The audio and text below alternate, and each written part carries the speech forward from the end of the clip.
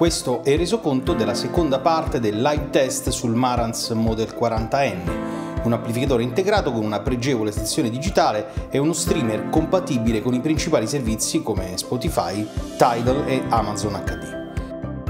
Dopo la sortita nel punto vendita centro musicale della settimana scorsa, stavolta ho deciso di far danni da gruppo Garman, che ha messo a disposizione una coppia di Polk Audio Legend L200 e un subwoofer Definitive Technology Descent DN12, con driver da 12 pollici e doppio radiatore passivo sempre da 12 pollici. Un po' esagerato, ma si fa sempre in tempo ad abbassare il volume del sub e poi con i dischi di Marco Cicogna non si scherza, quindi sulla gamma bassa volevo stare tranquillo. Da Garma ho focalizzato l'attenzione proprio sull'uscita sub del Model 40N e sulla possibilità di costruire sistemi in configurazione 2.1 trasformando di fatto una coppia di tranquilli diffusori da stand in qualcosa di decisamente più vicino ad un sistema da pavimento importante, ma con la scena di un diffusore più piccino e con la versatilità di poter scegliere la posizione del sub in modo da armonizzarlo con l'ambiente e con i diffusori principali.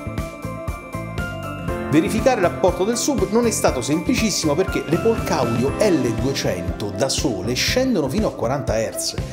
Meno male che c'era Marco Cicogna, appunto. È stato lui a scegliere le tracce giuste che hanno permesso di verificare sia l'ottima linearità che la straordinaria estensione in basso dell'intero sistema, realizzato grazie a un posizionamento certosino e un taglio passo a basso a circa 50 Hz. Oltre al sub, stavolta abbiamo utilizzato anche la connessione HDMI ARC, collegando il Model 40N ad un TV Samsung 4K, a cui a sua volta era stato collegato anche un lettore Blu-ray della Oppo in particolare. Abbiamo ascoltato non solo le sorgenti più comuni come YouTube e Amazon Prime Video, ma anche il servizio Digital Concert Hall della Filarmonia di Berlino, una specie di Netflix della musica colta con video anche a risoluzione 4K che non dovrebbe mancare nelle case degli audiofili. Nel pomeriggio, grazie alla disponibilità di un incauto avventore, abbiamo potuto effettuare anche un confronto non pianificato ma estremamente interessante tra vinile, streaming da Tidal in qualità CD e file digitale ad alta risoluzione in formato DSD.